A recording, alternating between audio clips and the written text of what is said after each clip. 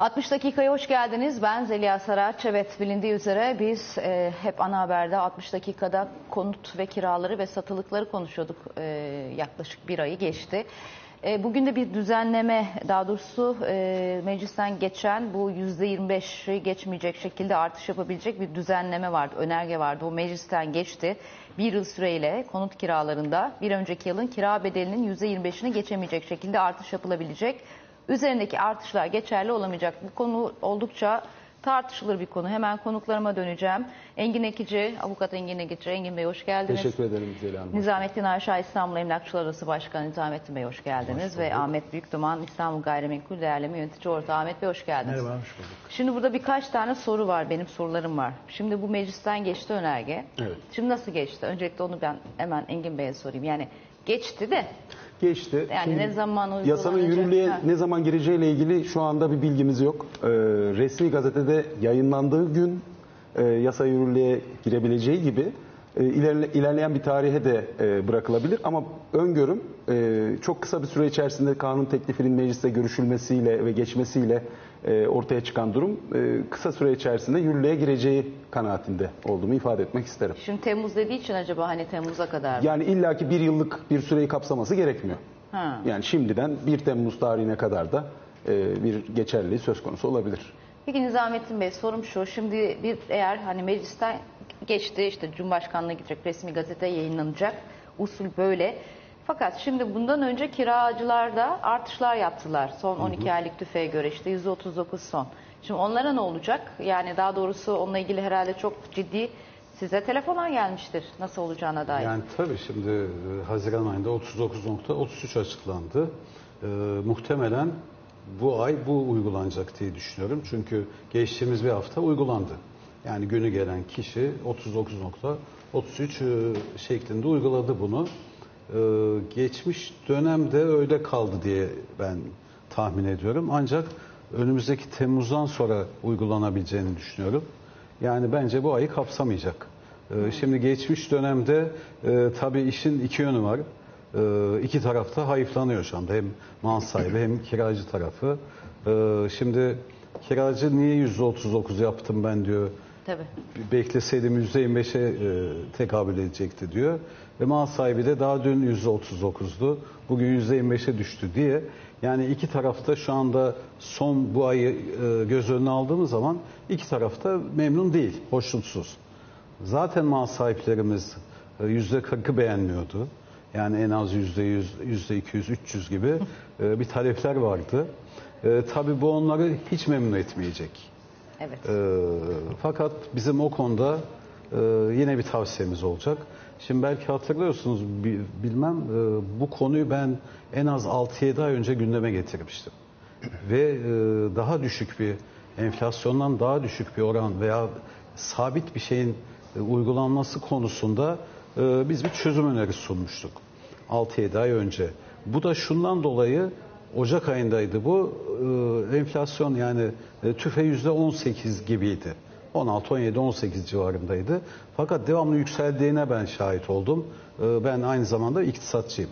Yani o konuda da e, bir şeyimiz var çalışmamız. Yükseldiğini gördük ve dedik ki bu iyiye gitmiyor. Yani bu %50'yi 60'ı bulacak. E, o zaman devletin buna müdahale etmesi lazım. Nasıl zamanda üfeyi tüfe yaptıysanız buna sabit bir şey bulunsun diye e, ben bir fikir beyan etmiştim. Keşke o zaman yapılsaydı. Bakın 17-18 iken %25 uygulansaydı e, hiçbir sorun Buraya kadar olmayacaktı. gelmeyecekti. Ama şimdi 17, 18, 20, 25, 30, 33'e kadar giden, 39'a kadar giden bir süreç yaşadık. E, bu yaşanmayacaktı o dönemde. Şimdi yine bizim bir teklifimiz olacak e, Sayın Hükümet'e.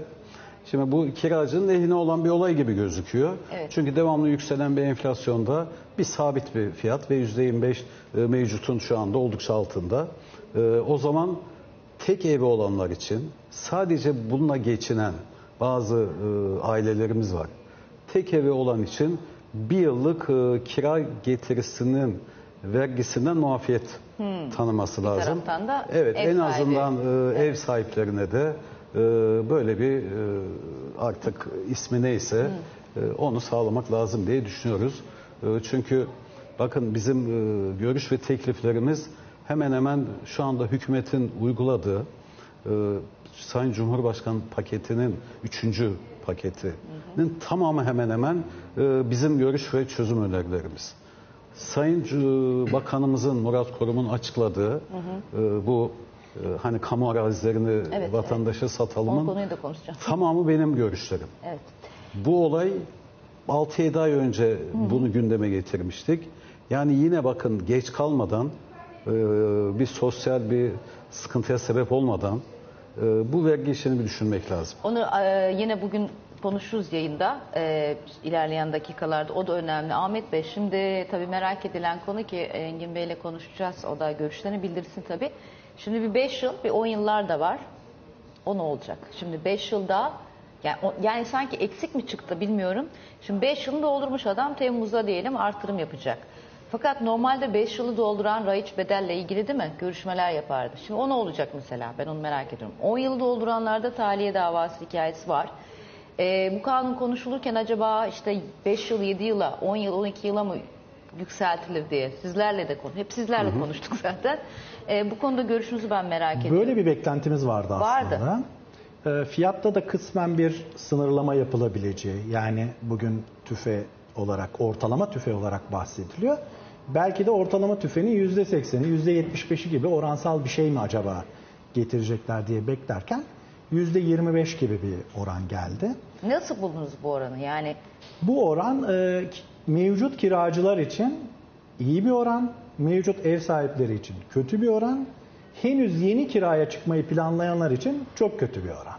evet çünkü önden yüklemeli mi artış yapacak?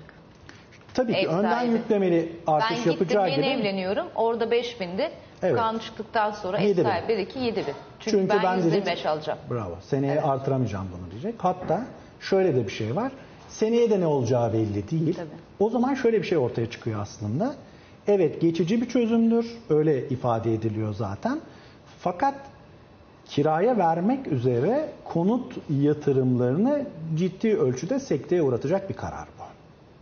Bir taraftan iyi bir karar değil mi? Neden diyeceksiniz? Tamam inşaat sektörü.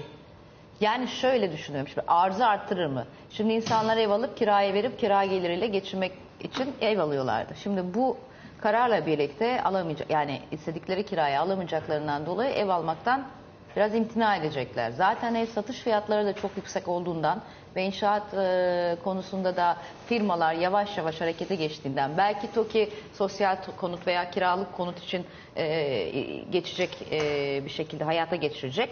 Biraz daha bu satılıkların aşağı inmesini sağlamaz. Tabii. Şimdi bu tarafı da var çünkü. Kesinlikle. Şimdi bakın şöyle bir durum var. Kiralık havuz var diyelim. Konut kiralık konut havuzu. Şimdi Türkiye'de yaklaşık 7,5-8 milyon kiracı var. Bunların da her yıl 1,5 milyon civarı e, tekrar kiralanıyor, tekrar boşalıyor. Demek ki bir havuz problemiyle karşı karşıyayız. Yani her yıl kiralık havuz piyasasına yeni konutlar giriyor. Bir kısım konutlarda kiralık havuz piyasasından çıkıyor. Şimdi bu kararı aldığınız zaman şöyle bir şey olacak.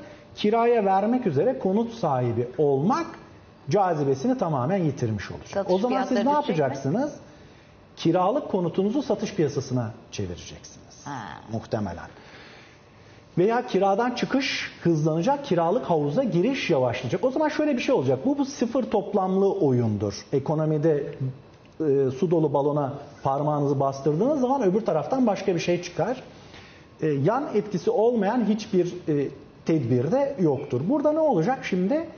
Hızlı bir şekilde biz yeni kiralama piyasasına girişleri azaltmış olacağız. Kiracısı boşalan evlerin tekrar kiralanması yerine satış piyasasına yönelmesini göreceğiz. Öyleyse şöyle bir durum var. Toplam mekan piyasasında kiralık ev havuzunda küçülme, satılık ev havuzunda büyümeyle karşılaşacağız. Bu Satılık ev fiyatlarının da bir parça bir parça olumlu etkisi olacaktır zamana yayılmış bir şekilde. Fakat yeni kiralık boş olarak kiraya verilecek konut piyasasında da ciddi ölçüde yeni kiralık fiyatları yukarıya doğru Şimdi çıkartacak. bu arada sosyal medyada tabii devamlı sorular geliyor. Diyorlar ki ha, kiralar Mali ve Para İşleri Çevre ve Hazine e, Bakanlığı dururken Adalet Bakanlığı'na alakalı tabii ki Borçlar Kanunu dolayısıyla Adalet Bakanlığı doğru mu? Doğru. Ee, borçlar kanunu da ne kadar zor geçmiş şimdi iktisatta. Şimdi evleri düşük kiralar kalanlar 125 yetmez bence raiç bedeli için 5 yıl süresi değil kira kontrolü tanınan önce güncel raiç bedeline göre kiracı ve ev sahibi anlaşmalıdır. Size zaman o zaman çıkın ben o 3 sene o parayı vereceğime boş dursun derse ne olacak? Ee, düşük kirada oturan kiracılar %25 yetmez evin raiç bedeline göre kiram 4000 ama kiracım 1500 TL ödüyor. Bu şartlarda nasıl olur da kira %25 zam yapılabilir? Kontrat bittiği anda kilidi vuruyor boş bırakacağım. En azından temiz kalır, yıpranmaz. Bu arada ben zaten değerleniyor. Boş kalsın, uğraşa, uğraşamayacağım bu ortamda değmez demiş. Ee, emlakçı komisyonları da sınırlandırılsın demiş. Ee, yine enflasyon %70 oldu. Her şeyin %150 zamlandı ortamda. Ev sahibi nasıl %25 bağlarsınız? Benim evim değeri şu an 4000, kiracım e, 2000. Nasıl yapacağım ben bunu demiş. E, bankaya olan borcun kredi taksini de 125 indirim yapılsın o zaman demişler. Yine bir tane daha bu düzenlemeyle 5 yılı geçen kontratlarında kira tespit davalarında 12 yıla geçen kontratlarda da tahliye davalarında dramatik artış olur mu? Yargı yükü e, artırıcı bir düzenleme değil mi? Evet. Şimdi Daha var da okur musun? Evet, çok sayıda soru var. Öncelikle şunu bir teslim etmek gerekir. %25 bile şu anki enflasyonist ortamda kiracılar için yüksek bir e, şey e, oran aslında. Yani biz düşük olmasından, düşürülmesinden bahsederken bu bile şu ortamda gerçekten onları e, kiracıları e, %27'si kiracı olan Türkiye'deki bu yurttaşları zor duruma sokmaya yeterli. E, ben sorulmamış ama yeni kira sözleşmelerini kapsayıp kapsamadığı ile ilgili de bir şey söylemek onu da isterim merak müsaade ediyorum. ederseniz. E, kanun metnine baktığımız zaman e, burada geçmiş yılın kira bedeli ifadesi geçiyor, cümlesi geçiyor. Dolayısıyla e, yeni bir sözleşmede geçmiş yıl kira e, bedelinden bahsetmek mümkün değil. Dolayısıyla e, kanunun lafzından hali hazırda devam eden sözleşmeleri kapsadığı sonucuna varıyorum ben. Peki burada bir e, sorun ortaya çıkarsa ve yeni sözleşmelerde de e, bu oranla ilgili ihtilaflar söz konusu olursa bu sefer e, mahkemeler bu konuyu çözmekle e, uğraşacak. Yani en azından şimdi bunun şunu teslim etmek gerekir ki geçici bir düzenleme olduğunu biliyoruz. Bu geçici bir düzenleme ama neredeyse o kısa ve orta vadede kalıcı bir sorun haline gelmiş bu sorunun bir yıllık bir geçici e, düzenleme ile çözülebileceğine de ben inanmıyorum. Kayıt dışılığa da e, onu itebilir E, ve e, Türkiye'de ne zaman serbest piyasada bir sınırlandırmaya Müdahale gidilirse, üstadlarım da bilirler, orada hep bir sorun çıkar. Yani olumlu bir sonuca varmaz. Benim öngörüm bu şekilde. E, bakalım yürürlük tarihini bilmiyoruz şu anda. Bilmiyoruz, en azından ben bilmiyorum herhalde. ama. Biraz düzenlemeye e, farklı ekler gelir mi? Çünkü şöyle mesela benim şöyle sorularım var. Bir, ben 3 yıllık kiracıyım mesela. E, mevcut durumda işte %39, %40 yapacaktım ve ben Temmuz ayı itibariyle artırım yapacağım. Şimdi %25 yaptığım takdirde ev sahibine mesela ev sahibi orada kiraiç e, budur, orada şurdu, kiralar şuraya çıktı, çok düşük o yüzden ben geleceğim, ben oturacağım, tahliye edebilir mi, dava açabilir mi? Veya ben yüzde kırk mı, tamam o şekilde konuşuldu, ben ev sahibine yüzde kırk yapacağım dediğimde, dedi ya e, bakan yüzde yirmi beş yasal, gerisi kabul edilmeyecek. O zaman ne olacak? Ben yüzde yirmi beş artırarak vereceğim, kalan yüzde on beş elden mi vereceğim? Ya da yüzde kırk kendi isteğimle yaptığımda o yüzde kırkı hesaba aktarabileceğim mi? Nasıl olacak o? Mesela orada da sizin bahsettiğiniz kayıt dışılığa giriyor yani. O, o, Evet. o konuda e, her üçünüzün de fikirlerini merak ediyorum. Yani ne orası ne burası şimdi? Yani bir çözüm oldu mu bilmiyorum. Hukuki açıdan soruyorum size öncelikle. Sonra Ahmet Bey'le de devam edeceğim ve Nizamettin Bey'le. Yani e, şimdi olacak orada? Şöyle bir şey aklıma geldi siz bunu söylerken Zeliha Hanım. Mesela e, yürürlük tarihinin e, Haziran'ın 15'i olduğunu varsayalım. Bilmiyoruz ya. Tamam. 15'inde diyelim ki yürürlüğe girecek. 14'ünde kira sözleşmesi e, dönemi gelmiş ve %39,33 olarak şu anda Haziran ayında belirlenmiş olan 12 yıllık tüfe üzerinden bir e, zam geçer, Yapıldı. yapılmış. Bir gün sonra yürürlüğe giriyor. Şimdi burada haksızlık olmaz mı? E, bence olur. Peki ne olur? Bu kanun bunu düzenlememiş. Bununla ilgili bir boşluk var. Var. E, bu aradaki e, farkın kiradan düşürmesiyle ilgili kiracılar pekala dava açabilir, denenebilir. E, kiracılar dava açabilir. E, bu durumda top mahkemeye atılmış olur. Siz güzel bir şey söylediniz. Buna da ek düzenlemeler gelir mi? Bence gelmeye muhtaç bir durum söz konusu. Çünkü e, var ciddi bir belirsizlik var. Çok açık var. Yani ben kiracı olduğum için söylüyorum. Benim aklıma geleni herkesin aklına geliyordur. Şimdi yılların e, emlak sektöründe olan birisiniz. Böyle bir durum ev sahiplerinde, kiracılarda, e, kiralarında, satılıklarda nasıl bir sonuç çıkarır? Şimdi 2001 krizinden hemen önce böyle bir uygulamanın aynısı yapılmıştı demiş Mert Bey. Hatta %25 oranı bile aynıydı. Yanlış hatırlamıyorsam. O zaman ne olmuştu? Hatırlayan var mı? Ben yani 2001'den önce kira ödemediğim için o yüzden.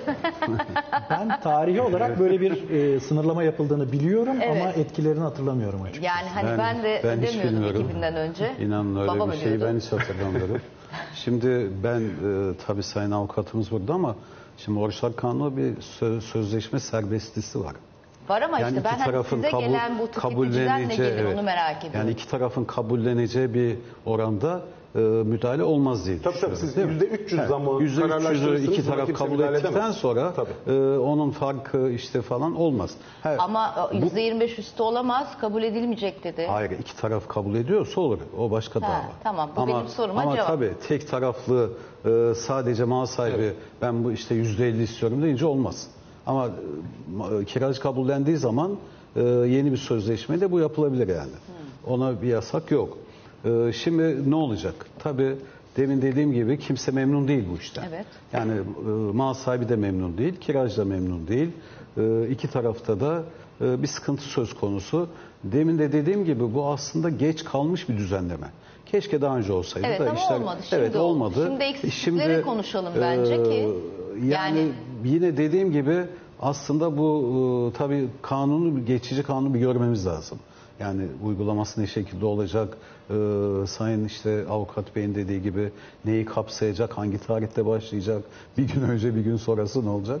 Ama muhtemelen e, başladığı günden bir gün önce %39-33 yapacak. Kime denk geliyorsa e, bir gün sonra %25'e tekabül edecek. E, bu konuda yapacak bir şey olduğunu pek Tabii zannetmiyorum tabii ben. tabii. Ortaya ortaya. Evet. Ahmet Bey lütfen soru sorma Ben beklemeyin. unutacağım çünkü Yo, yo, Ahmet Bey'de sıra Hayır ama. hayır yani Şöyle, hani Estağfurullah. Tamam. benim size buyurun dememi Benden beklemeyin sonra lütfen. e, müsaade ederse. Evet, estağfurullah. Şimdi e, Çevre ve Şehircilik Bakanı Murat Kurum'un bir açıklaması vardı. Dedi ki aslında borçlar kanunumuz kiracıların haklarını koruma noktasında son derece elverişli. Evet, uygulanmıyor. Kötü niyetliler olmasa burada kötü niyetliler derken kastettiği kötü niyetli ev sahipleri olmasa aslında hiçbir sorun olmaz.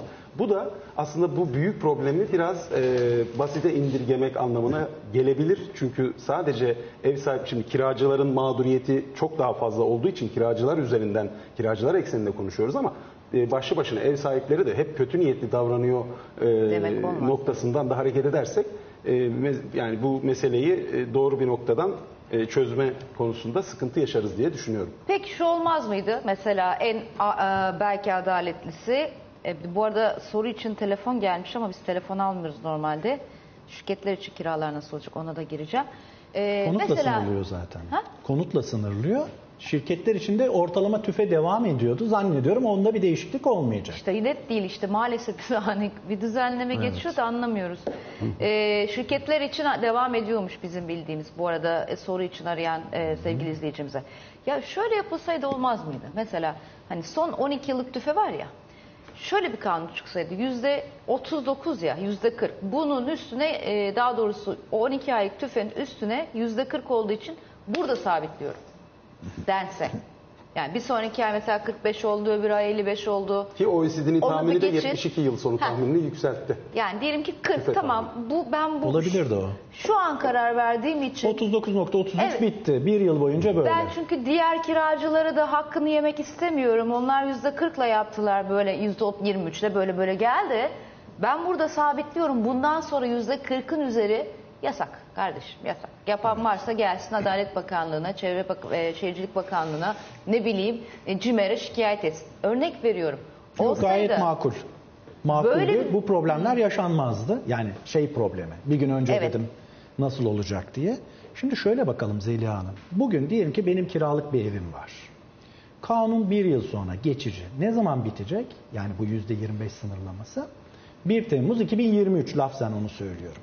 O zaman ben bugün evimi kiraya vermem ki. Temmuz ayının girmesini beklerim ki bir sonraki kira vadesi bu kısıtlamadan kurtulsun. O zaman önümüzde kısa vadede yani şu 22 günde de ayrıca kiralık konut piyasasında bir kitlenme sorunuyla karşı karşıya kalma Kimse bir ihtimali. şey var. yapmayacak değil mi E mesela? yani ben beklerim Temmuz ayını atlayalım, kanun çıksın. Ya Önümü göreyim ondan sonra evime kiralamaya vereyim. Boş, boş Ha, evler için. Boş evler, Boş evler için Ama peki konuşuyorum. dolu evler için ne diyecek? Dolu evler için Dolu ev bir şey zaten orada bir karar var. Ama boş evler için bakın şöyle de bir durum var. O zaman her ay olacak. her ay 100-150 bin tane ev yeniden kiralanıyor. E şimdi bu insanlar dışarıda mı kalacak? Herkesin bir ev kiralaması O lazım. zaman O bu kadar- Temmuz'a kadar Şimdi kiralık bu- piyasa duracak. Dolayısıyla Yani kanunu boşlar için. doğurduğumuz zaman yani bu bir yıllık süre ne zaman bitecek? E, evini kiraya verecek olan kişi kanunun %25 kısıtını bitirdiği tarihten sonrasına denk gelecek bir şekilde kira sözleşmesi yapmak isteyecek bu defa. İkincisi tabii burada e, değerli hukukçumuz da var. E, Onun alanına girmeyi istemem. Zaten bildiğim de bir şey değil ama uygulamada bakın yeni kiracılara yapılacak kiralama şartları gittikçe ağırlaşacak. İşte tahliye taahhütnameleri. Belki 6 aylık tahliye taahhütnamesi alacaklar. Ya, Ev yasal mı? Değil. Yani şöyle. Ben- ben oraya sorayım e, Bu konuyla ilgili geçtiğimiz programda da Evet, e, konuştuk. bir e, bahis geçmişti. Şimdi tahliye taahhüdünü imzalıyorlar kiracılar ama orada herhangi bir tarih yazmıyor Zeliha Hanım. E, şunu yapsınlar. E, tahliye taahhüdünü imzaladıkları tarihi de yazsınlar. Ondan bir suret veya fotoğraf her neyse o fotoğrafı da tekrar e, ki- kiralayana, ev sahibine göndersinler. İmzaladığımız ta, e, ta- e, tahliye taahhütnamesi budur şeklinde. Daha Yasal sonra yani? delil olarak kullanılabilsin diye. Peki yasal? Başlangıçta e, kira sözleşmesinin başlangıcında öncesinde alınması yasal değil. Hah, Sonradan yasal değil. Sonradan. Değil. Peki, Peki. sonradan Ama onun bir şeyi var. Hile-i şeriyeleri var. Evet. Yani Boşluğu var yine. Bu Var. tabii ki. Tabii tarih, düzenleme tarihi, tahliye tarihi bunlar sonradan doldu. Sonradan dolduruluyor. imzalamak istemediği Veyahut oluyor. e, kontrat tarihini önce atıyorlar. Bir zorunluluk halinde Yani tabii insanlar bunu noterden, yapacak. noterden alınan tahliye taahhütü gününde alındıysa kesin geçerli. Yani onda hiçbir şey olmaz. Peki kontrat tarihini 15 gün önceye atıyorlar. 15 gün Ha. önce tutulmuş Tabii, tabii, gibi. Ee, tahliye taahhütünde 15 gün sonra vermiş oluyorsunuz. Otomatikman geçerli. Hiçbir şey yok onunla ilgili. Şimdi bakın bu düzenlemede şöyle bir durum var. Şimdi dedik ya Türkiye'de 7,5-8 milyon kiracı var. Şimdi kiracıların profiline bakalım. E kiracı zaten hayata yeni atılmış, belki yeni bir yuva kurmuş ve henüz kendisine bir ev sahibi olacak belki iktisadi olgunluğa da erişmemiş. Çoğunluk itibariyle söylüyorum. Demek ki bu kitle belli bir ölçüde toplumda geliri kısıtlı henüz şimdilik insanları temsil ediyor. Peki ev sahiplerine bakalım. Türkiye'de gayrimenkul geliri elde eden 3,5 milyon hane var. Şimdi bunlar da genç değil, hayata yeni atılmış değil, ileri yaşlardaki insanlar ve kira geliri için gayrimenkul edinmelerinin sebebi de ileride bir emekliliklerine destek olacak bir nakit akışı yani. Ama bu bir yıllık yani hani. Bir yıl ama şimdi bakın geçen sene aynı tarihte yüzde 15'miş ortalama tüfe. Yani geçen yıl Temmuz ayında yüzde 15'miş. Şimdi yüzde 25. İkisini birleştiriyoruz yüzde 44. Sadece bu yılın gıda harcamalarındaki artış yüzde 90. Şimdi işin öbür tarafında da 3,5 milyon kira geliri elde eden haneler servet anlamında kiracılara göre elbette daha zengin bir konumdalar. Ancak birçoğu aslında gelir açısından aynı düzeyde değil. Tamam Yani- orada zaten Nizamettin Bey dedi ya Ha. bir evi olan Bir evi olan zaman var, iki evi e, olan ona kamu, geçinen kamu orada kişilerde- taşı elle e, koyacak taşı e, altın Altına. elini. Evet. Aynen. Orada diyecek ki o zaman bir evi olanlardan da ben bu e, vergiyi almıyorum ya da bilmiyorum yani. Ya da ya da şöyle yapacak. Tamam kira bankadan yattığı zaman yüzde 25'i kadar da ben vatandaşıma kira desteği yapıyorum. Oo, o çok zor. Çok olur ya.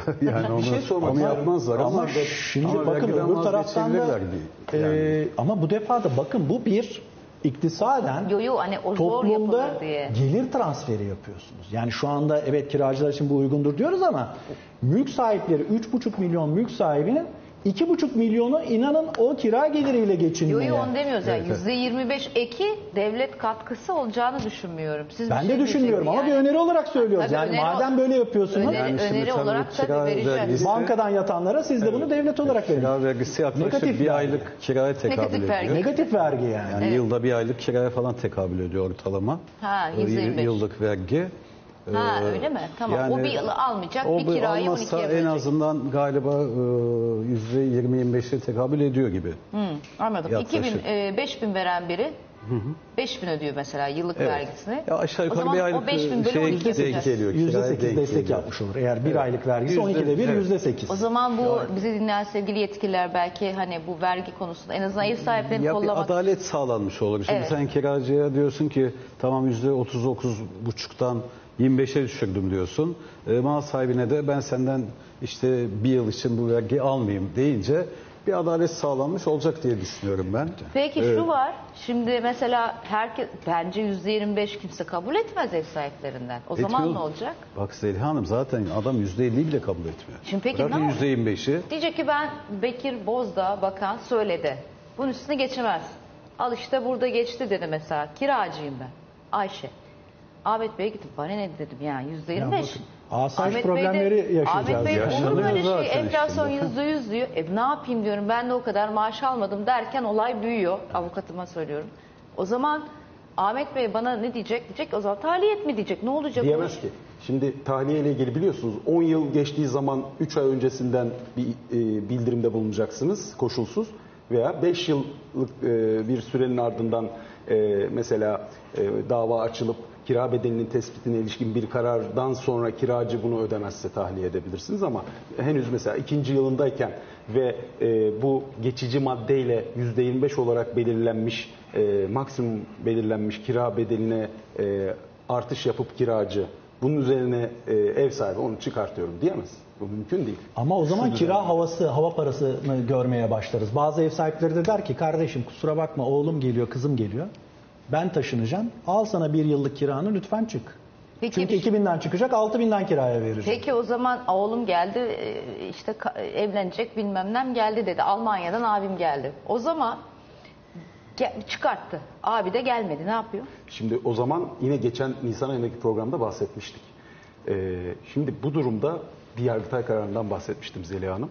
Eğer e, tahliye ile ilgili bir dava açmış ise ev sahibi ve orada mahkeme ikna etmiş ve birinci dereceden yakınının geleceği noktasında mahkemede onu e, bu talebini kabul ederek karar vermiş ve buna Tahliye rağmen e, buna rağmen e, şeyse e, tahliyeden sonra kiracının tahliyesinden sonra başka birine kiraya vermişse bu durumda son bir yıllık kira tutarı kadar Ceza. eğer kiracı talep ederse cezai şartı var. E, Kimse ve, oraya da gitmez ama. Ve 3 yıldır zaten burada da. İşte ben yani- bunu söylüyorum. Son Ama- bir yıllık kirayı vereyim çık. Ama şey var. Hiç davaya girmeden. Şunu tekrarlamış kiracı. olacağız geçen programda evet. Ee, bu davanın açılması gerekiyor. Dava açılmadan kiracı tahliye ederse ve ev sahibi e, ihtarname de çekmiş olsa e, birinci dereceden yakınım gelecek çık demiş bile olsa dava Gelmezse? yoksa ortada e, kiracı bu şekilde az önce bahsettiğim yıllık geriye dönük kira bedellerini talep edemez. Peki şimdi gelelim. Bu arada Mert 40'a kadar devam edelim. Bir çıkışım kaçtı Mert? 40, 48, 49 tamam. 40'a kadar biz kesmeyelim. Şimdi peki şu oldu. Yani bunlarda eksiklikler var hepiniz söylüyorsunuz. Geldi Temmuz 2023. Kalktı yürürlükten. Ne olacak? Ben yaptım 125 ya da 40'ı yaptım hadi böyle anlaştık. 5000'di işte 7500 yaptım. E, enflasyon yükselmeye devam ettiğini varsayıyorum şu an inşallah etmez. O zaman da yüzde yetmiş olmuş üfe. Şimdi Yani o kanun- sahibi zaten kayıp, kayıp yapmış ya. Aslında 15 bin alması gerekirken örnek veriyorum 7 bin yatırmış ya. E bu gürültten kalktı. Ben hala oturuyorum. Bana diretemez mi orada? 25 geçti artık burada ben yüzde 125 istiyorum. Örnek veriyorum. Geçmiş zamandaki kayıplar için. Bu gelir mi böyle talepler? Şimdi yeni Ya bir bu da- kanun düzenleme yoksa o ay için %70 ise 70 uygulayacak kiracı o zaman. Ama sahibi zaten talep- normalde yüzde 39'du kimse öyle uygulamıyor. O zaman da ona uymayabilir. Onu demek istiyorum. Ya uyguluyorlar canım %39'u. Yani şu anda e, Uygulanırlığı var bunun. yani mal sahibi daha yüksek talep ettiği zaman e, bazısı ediyor, bazı kabul ediyor, bazısı etmiyor kiracıların. E, onda bir sıkıntı. Ama o dönemde dediğim gibi kanunen yeniden bir değişiklik olmayacaksa e, değil mi efendim? Yani Tabii. o açıklanan tüfe neyse onu uygulamak Evet, zorunda. Yani kiracı onu geçici- ödemek zorunda. Geçici düzenlemeye yeni bir e, ek yapılmazsa veya yeni bir geçici düzenleme yapılmazsa Tamam, o zaman yüzde anladım. kaç olursa olsun tüfe Ama 12 aylık işte öyle olmuyor. Şimdi realiteyi de konuşalım. Şimdi ev sahibi geliyor ya da neyse emlak e, şeyle konuştuysa geliyor. Diyor ki Ben diyorum tamam neyse Temmuz ayında onu vereceğim diyorum size. Kaçta? Yüzde 40. Diyor ki karşı taraf yok benim e, de e, kirada oturuyorum. Sizin benim kiram da arttı. İşte bilmem ne oldu. Sizin de kiranızı yüzde yüz arttırın. Nasıl olur diyorsunuz? Tamam o zaman çıkın ben oturacağım. Yani kira arttırmıyor diye bir tahliye Arttırma sebebi değil. yok. Yani yüzde Ben yüz. oturacağım diye tahliye O başka. O davası onun açacağım. ispat etmesi lazım. Açabilir ve Yani kendisinde onu- tabii. oturması gerekir. Yani bir de şey çok soruluyor. bilinmeyen şey var. Önemli bir nokta var. Çok da soruluyor. Buyurun. Ee, burada e, bu düzenlemeye aykırı hareket edenler, edenler hakkında bir cezai müeyyide olacak mı diye e, bakanın da Adalet Bakanı'nda bir açıklaması var bu konuda. E, bu hukuki bir ihtilaftır ve hukuki ihtilaf olduğu için de herhangi bir cezai müeyyidesi olmayacaktır diyor. Tabi burada da bir çelişki söz konusu. Çek konusunu daha Evet. önce de konuşmuştuk. Orada bir hukuki ihtilaf olmasına rağmen e, cezai müeyyidesi bulunan bir durum. Tazminata hükmedecekler ama. Ama zaten kiracı ödemezse bunu hani kim ne hak talep edecek anlamadım ki o cezayı. Yok yok yani Ya uygulamazsa kim uygulamayacak bunu? Yani kiracı ödemezse e, mal sahibinin ya tespit davası açması lazım. Yani onun dışında bir cezai şart neye istinaden? Ee, Ben mesela anlamadım. ör- örnek vereyim, şöyle söyleyeyim. Ee, %25 olarak geçici bir şekilde belirlenen 1 Temmuz 2023'e kadar belirlenen oran var. Ve e, mesela o olayı başka bir boyuta taşıyayım. Ev sahibi kiracıya e, yoğun bir şekilde baskı yapıyor. Yapıyorlar Yakınlarına şu anda yapıyorlar, e, sadece kendisine değil yakınlarına da telefonla, mesajla vesaire. Mesela bu benim bu bu tip e, yaklaşımlar aklıma gelerek söylediğim bir şeydi. Efendim şu Yoksa anda bakın zaten dediğiniz tehdit, gibi. taciz e, böyle resmen hat safhaya çıkmış vaziyette. Yani biz biz sahadayız yani çok duyuyoruz. Geçen de hatta bir televizyonda izledim. Adam adam bıçaklıyor. O hale geldi. Yani mal sahipleri ya bırakın kanunu nizamı dinlemeyi. Ya işte barınma sorunundan Evet bahsediyoruz. ya yani çok zaten. had safhada onun için bu bu çok önemli bir konu.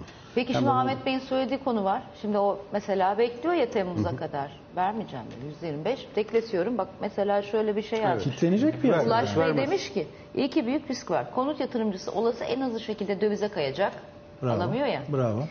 Ee, fiyat düşebilir ve kur patlayabilir. Yani şey Bir fiyatları. de satın almalar düşebilir. Ben şimdi İşte satın alma. E, evet. Aynı Talep zamanda düşüşü satın alma. maliyetle beraber arz düşüşünü de tetikleyebilir diyor mesela. İki riskten bahsetmiş.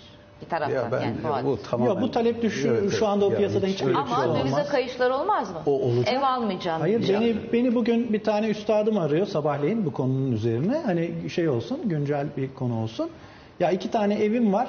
Güncel kirası 5000 2000 liraya oturuyorlar. %25 arttıracağım 2500. Birini satıp dövize döneceğim dedi bana.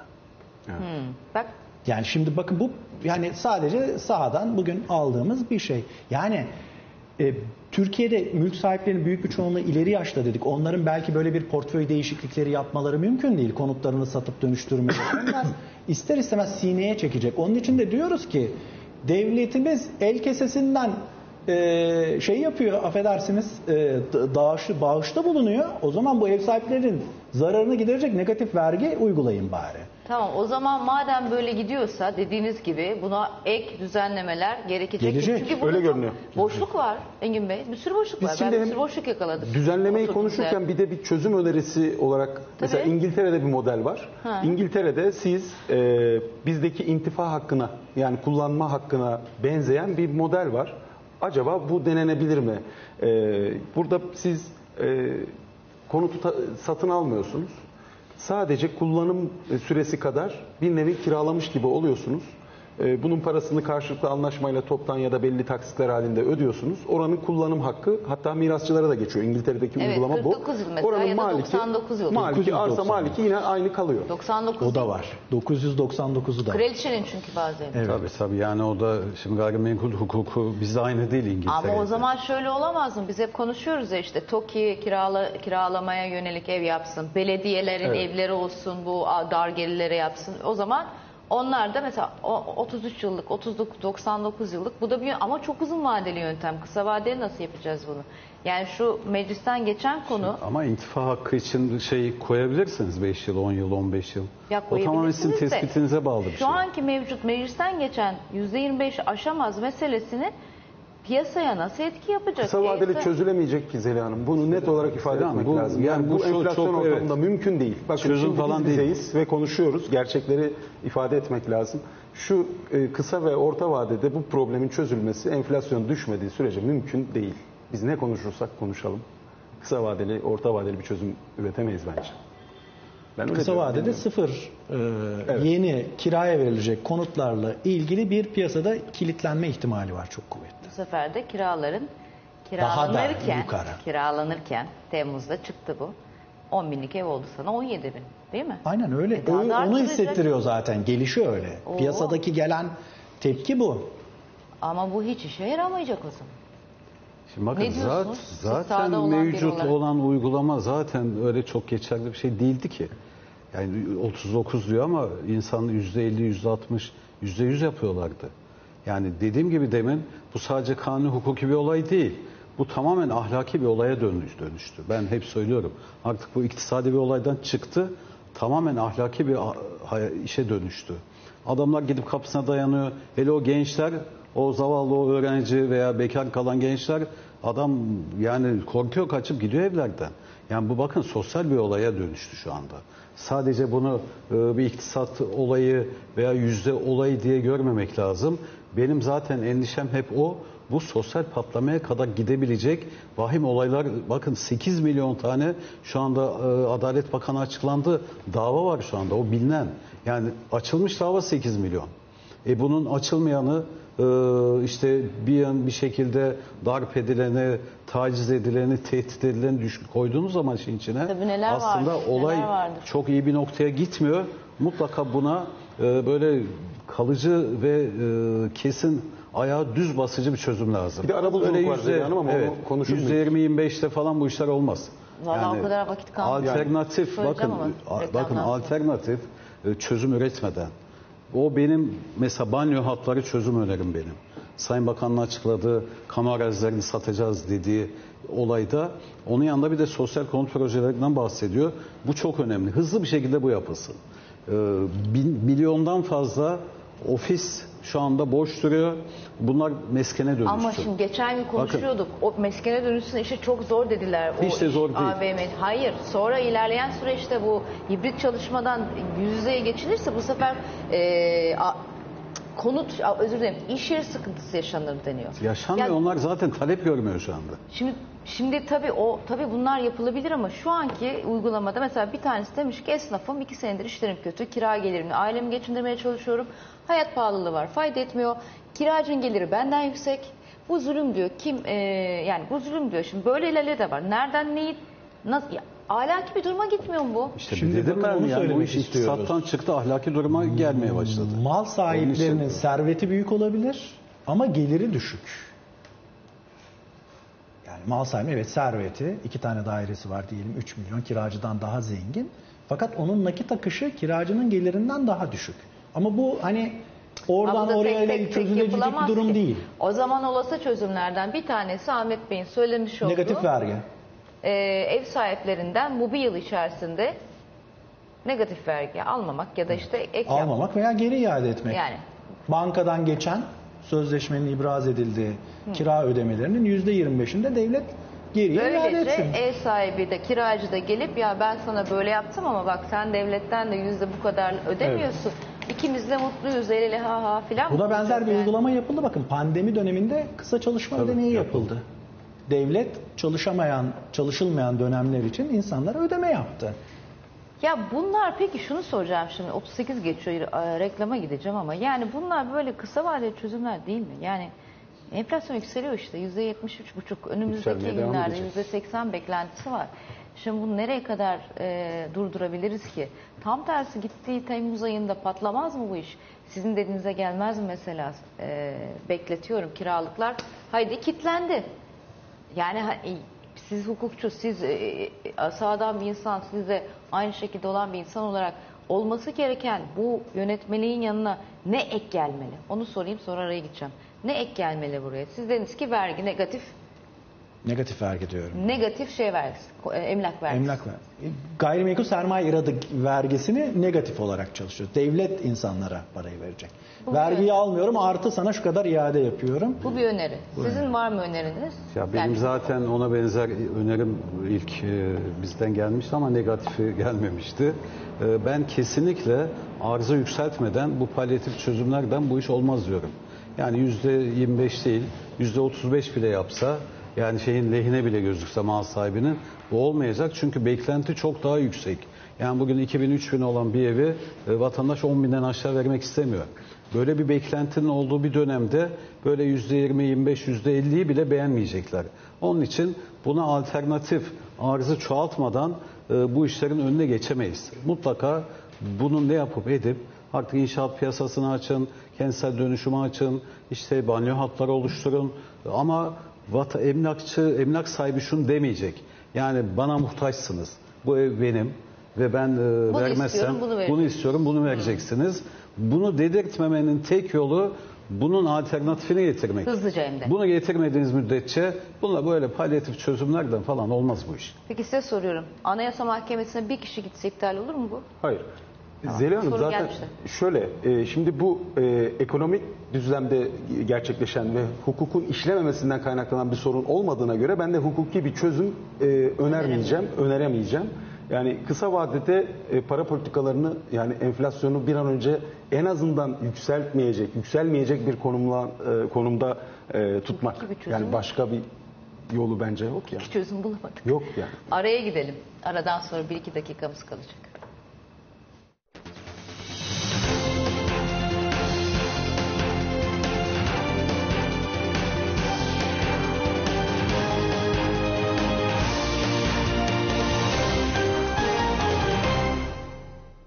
Devam ediyoruz. Hemen Ahmet Büyükduman'a şunu soracağım. Vakit çok sınırlı. Peki yeni kiracı için ne olacak bu?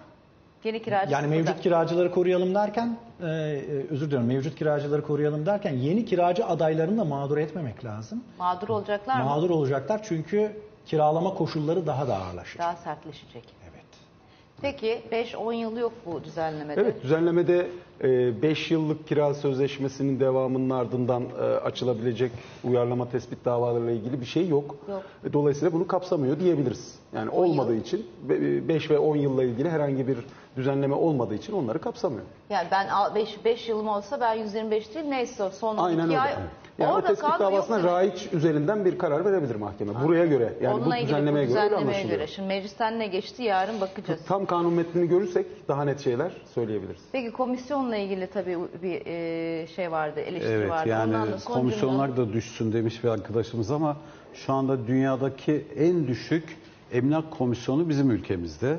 Bizden sonra en düşük %5 ile Yunanistan'da. Anladım. Bizde şu, an, şu anda %4 e, dünyanın en düşük komisyonunu biz alıyoruz. Ben Ve dedim de. yaptığımız işler de hı. Avrupa ve Amerika'daki meslektaşlarımızın Evet. yaklaşık e, yüzde otuzunu yapıyoruz.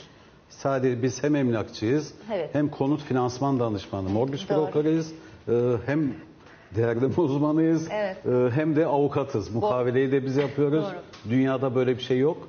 Dünyada bu işi yapan üç tane meslek grubu yaklaşık %20 komisyon alıyor. Son 10 saniye kaldı. Çok Evet. teşekkür ediyorum Engin Bey ve e, Nizamettin Bey ve e, Ahmet teşekkür Bey. Benim de önerim %40'tı zaten. 40'ta sabitleselerdi keşke e, şu tüfe son üfenin, şey tüfeğin sonu 12 ayını daha adaletli mi olurdu? Acaba öyle dedik hep beraber. Peki teşekkür ediyorum. Bitiriyoruz. Saat 21'de tekrar karşınızdayım.